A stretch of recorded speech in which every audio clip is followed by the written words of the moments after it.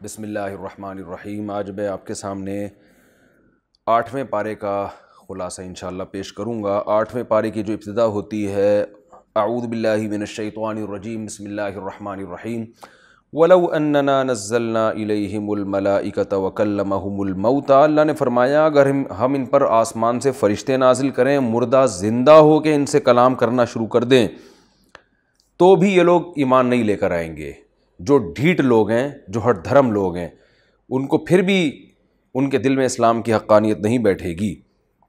तो इसलिए आप सल्लल्लाहु अलैहि वसल्लम को तसल्ली दी जा रही है कि आप इनके बेहुदा एतराज़ात और इनके ईमान ना लाने का गम ना करें। आपकी दावत में कोई कमज़ोरी नहीं है, इन्हीं की तबीयत में ज़िद और हर धर्मी है। इस पारे में अल्लाह ताला ने मुर्दार खाने को हराम करार दिया वला तकुलु मिम्मा लम युद करिस्मुल्लाह जिस जानवर पर अल्लाह का नाम न लिया जाए, फरमाया, इसको मत खाओ, व इन फ़िस्क ये फ़िस्क है।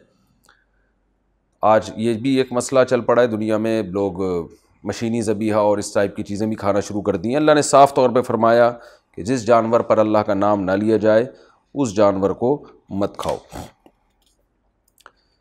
इस पारे में, चूँकि सूर्य नाम इसमें सूर्य नाम का ज़्यादातर हिस्सा इसमें और सूर्य नाम में अल्लाह ने तोहद के मजमून को बहुत ज़्यादा बयान किया है। मुशरकिन अपने बुतों को खुश करने के लिए कुछ जानवरों को अपने ऊपर हराम कर लिया करते थे।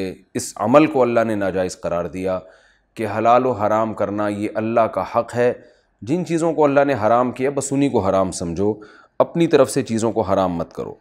मुशरकिन ज़माने जाहलीत में गुरबत के खौफ से अपनी औलाद को कत्ल भी कर दिया करते थे। अल्लाह ने फरमाया, क़द खसरदीन कतल औलादम सफ़ाहम बग़ैर इल्म।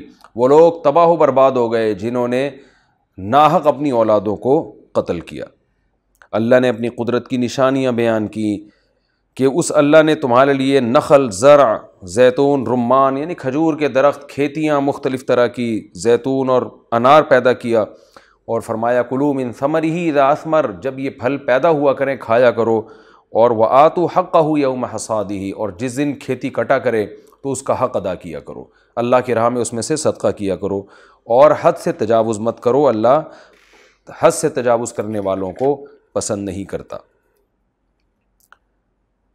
यहूदी ये कहा करते थे कि हम पर फ़ला फ़ला चीज़ हराम थी तो इस्लाम ने हलाल क्यों है? तो अल्लाह ने बताया कि हमने इनके गुनाहों की वजह से इन पर चर्बी को हराम कर दिया था, वरना चर्बी असल हराम नहीं है। इनके गुनाहों की वजह से आर्जी तौर पर इन पर हराम हुई थी। और अल्लाह ने यह भी बताया कि तुम अपनी तरफ़ से जो चीज़ों को हराम कर रहे हो, उनको छोड़ दो। आओ, हम तुम्हें बताते हैं कि अल्लाह की नज़र में कौन कौन सी चीज़ें बुरी हैं और कौन कौन सी चीज़ें वाकई ऐसी हैं कि उनसे इंसान इज्तनाब करे। ये बहुत अहम रुकू है। तालो अतलुमा हर्रम रबुकुम आओ, मैं तुम्हें बताता हूँ हम तुम्हें बताते हैं कि तुम्हारे रब ने किन चीज़ों को हराम करार दिया। अल्लाह तुशरी को भी शई आ अल्लाह के साथ किसी को शरीक मत करो। वबिल वालदेनी एहसाना, वालदेन के साथ अच्छा सलूक करो। वला तख्तलु औलादकुम इमलाक, गुरबत के खौफ से अपने बच्चों को कत्ल मत किया करो। नहनु नरजुकुम व ईयाहुम हम तुम्हें भी रिज़ देंगे और तुम्हारी औलाद को भी रिज़ देंगे। वला तकरबुलफ़वाहिशमा वहर मिन्हा वमा बतन बेहयाई चाहे खुली भी हो या छुपी भी हो, बेहयाई के करीब भी मत जाओ। वला तख्तुलनफ़सलती हर्रमल्ला बिलहक़। नाहक किसी इंसान को कत्ल मत करो और अल्लाह तुम्हें इसकी वसीयत करता है। वला तखरबू माल यतीमी अल्ला बिल्लती हसन यतीम के माल के करीब मत जाओ, उसे नाजायज़ खाने के लिए। वाउफुल कई लवल मीज़ान बिलकिस। नाप तोल में कमी मत करो, पूरा पूरा नाप तोल किया करो और अल्लाह के अहद को पूरा करो। और ये मेरा सीधा रास्ता है जो इस्लाम है। फत फ़तबीहू इस रास्ते को चलो, इस्लाम को छोड़कर दूसरे रास्तों को फॉलो मत करो। ये अल्लाह ने इस सूरत में अहम अहकाम दिए और अल्लाह ने ये भी बताया कि हमने जैसे मूसा सलाम को किताब दी थी तो हमने नबी सल्लल्लाहु अलैहि वसल्लम को भी किताब दी है। कहीं ऐसा ना हो, हमने किताब इसलिए दी है कि ताकि तुम पर हजत तमाम हो जाए। अनतखोलो इन्नमा उनजिल किताब अला तोफ़तन मिन कबलिना। तुम कह सकते थे कि अल्लाह हमसे पहले यहूद नसारा को किताबें मिली और हमें तो वो किताबें, हम, हमें तो वो किताबें नहीं मिली तो हमें सीधा रास्ता कैसे मिलता?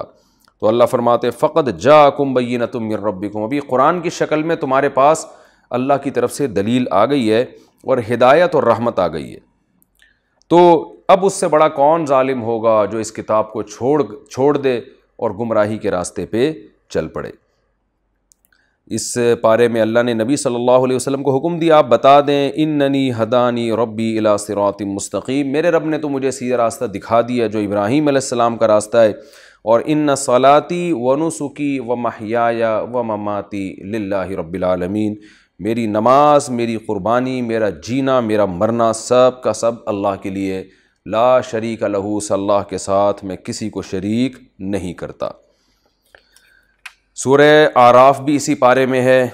सूर आराफ में अल्लाह ताला ने आदम सलाम की पैदाइश के वाक़े को बड़ी तफसील से बताया कि हमने आदम को पैदा किया और फ़रिश्तों को हुक्म दिया कि आदम को सजदा करो।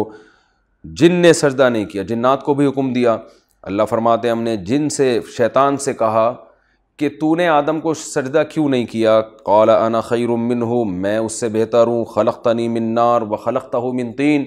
तूने उसे आग से पैदा किया सॉरी मुझे आग से पैदा किया और उसे तूने मिट्टी से पैदा किया।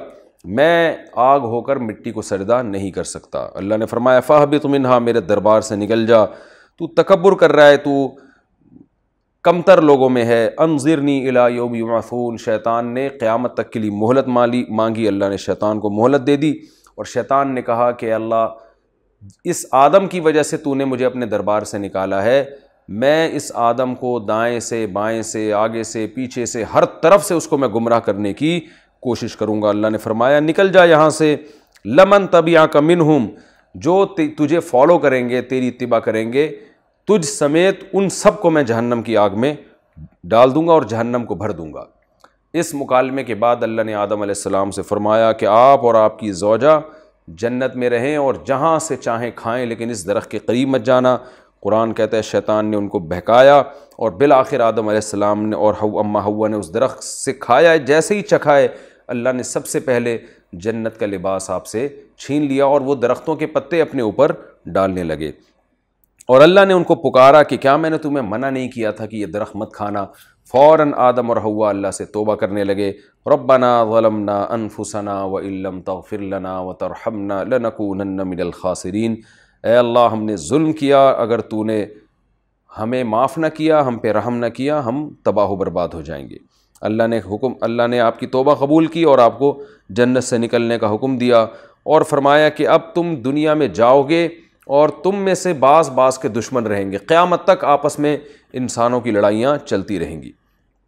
अल्लाह ने फिर बताया कि, ए बनी आदम, ला यफ्तिनकुमशैतान ए बनी आदम जैसे तुम्हारे बाप और माँ को शैतान ने फितने में डाला तो ये शैतान कहीं तुम्हें भी फितने में ना डाल दे। तो इससे बच के रहो। फिर अल्लाह ताला ने इस सूरत में हुक्म दिया कि यहूद नसारा मशरक़ी मक्का बरहना तवाफ़ किया करते थे। लिबास, वो कहते थे, जिस लिबास में हम गुनाह करते हैं, उस लिबास में हम बैतुल्ला का तवाफ़ कैसे करें? तो अल्लाह ने हुक्म दिया, खुद जीनत कुम इंदकुल्ल मस्जिद जब भी नमाज़ का वक्त आए तो जीनत इख्तियार करो, प्रॉपर ड्रेस पहनो। और मन हर्रम जीनत अल्लाती अखरज अबाती अल्लाह की जीनत को किसने हराम करार दिया है? तो लिबास से तो इंसान की जीनत होती है।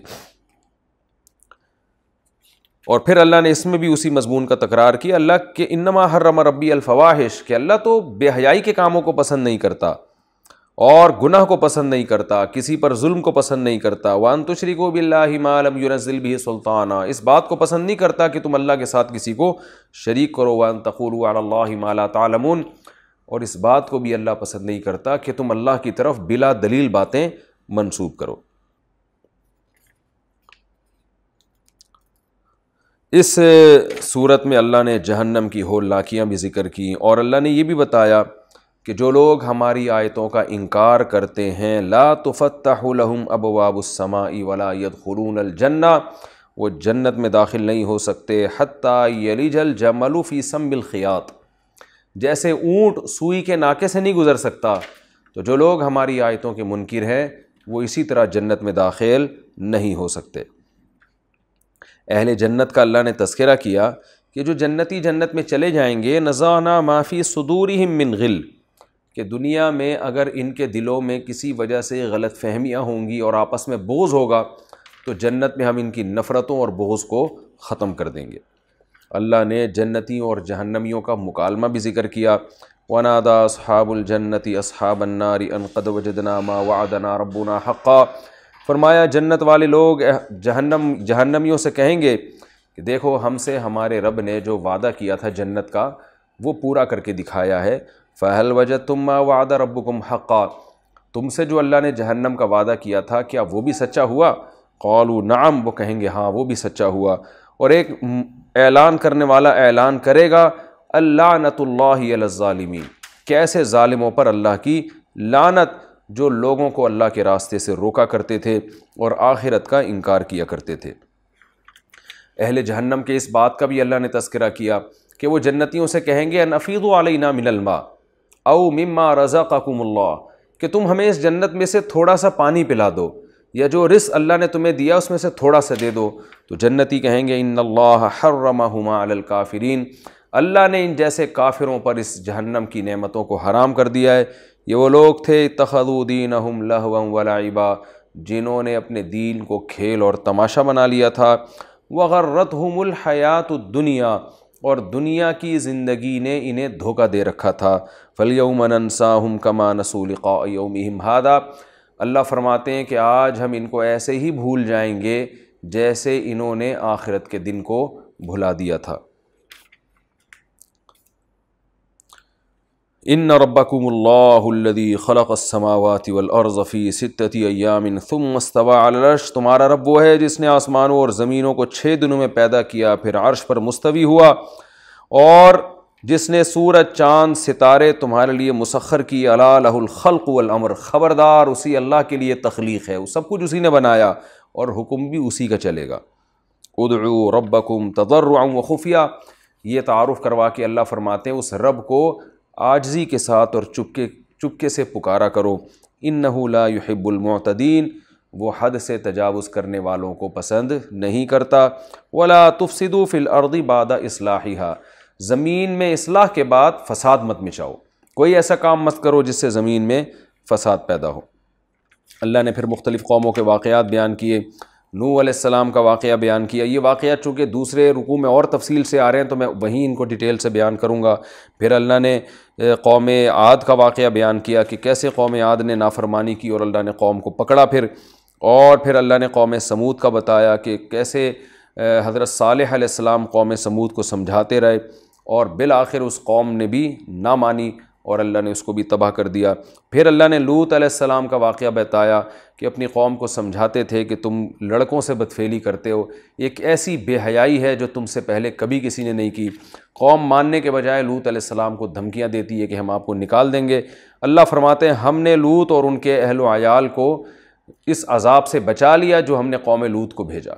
लेकिन उनकी बीवी को उसी अजाब में अल्लाह ने डाल दिया। वम तरना मतरा, आसमान से पत्थरों की बारिश बरसाई। और उस कौम को अल्लाह ने तबाह कर दिया। फिर हज़रत शुएब अलैहिस्सलाम का तस्करा है कि उन्होंने अपनी कौम को समझाया कि नाप तोल में कमी मत करो। अल्लाह ने तुम्हें हर किस्म की नेमतें दी हैं तो और अल्लाह ने तुम्हें अफरादी क़ुत भी दी है। तुम्हारी आबादी को अल्लाह ने बढ़ा दिया और ये सारी नेमतें हैं। तो इन नेमतों के शुक्र का तकाजा ये है कि तुम नाप तोल में कमी मत करो और लोगों को अल्लाह के रास्ते से मत रोको। ये इस पारे का ख़ुलासा था जो मैंने आपके सामने पेश किया, अल्लाह ताला समझने की और अमल करने की तोफ़ी अता फ़रमाए व मालीना